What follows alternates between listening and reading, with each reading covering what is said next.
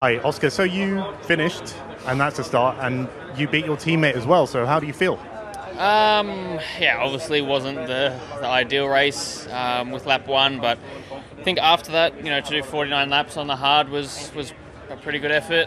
Um, they seemed to hang on very well at the end, which was good, and bit of experience with overtaking, some more wheel-to-wheel battles, which was nice. Um, bit of entertainment at the end, so um, yeah, obviously not the race we're looking for, but still some positives for me and some more experience. And take me through that lap one contact. Um, was it avoidable? Did, whose fault was it? You know. Um, I, I haven't seen it to be honest, but I don't think it was anyone's fault. You know, just tight turn two here and the contact was really small. I you know barely even felt it, and uh, yeah, I was quite surprised to have damage after it. But anyway, um, it happens. I'll try and see if I could could have done anything different. Um, but yeah, the rest of the race was some positives, and like I said, nice to get to the end today. And are you excited for your home race then?